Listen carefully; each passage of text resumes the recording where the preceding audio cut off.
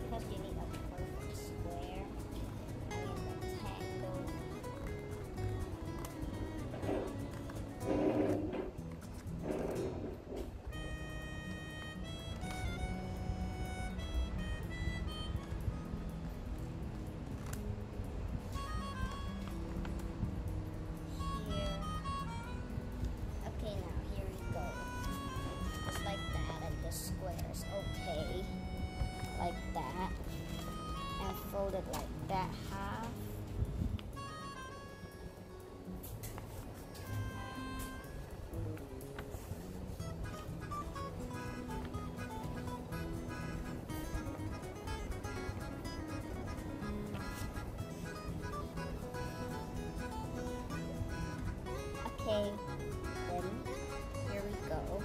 Get this open. Put this down there.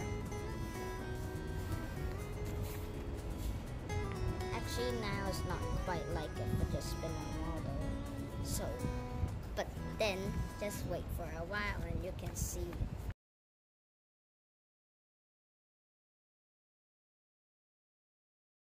And as soon as your pattern is like that, Okay, like that. Okay.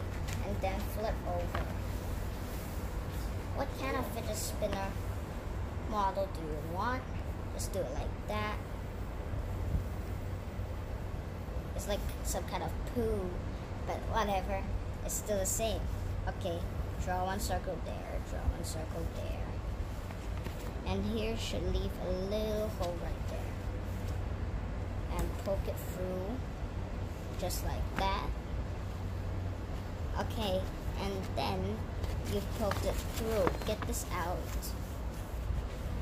I think it's not really good, so I'm gonna do another one right here. And well, this one looks a bit little more better than the previous one. But I like the previous one more. Okay, well, just like that. And draw some kind of pattern if you want some. Okay, guys. Then, like, wait for me to finish drawing this pattern, then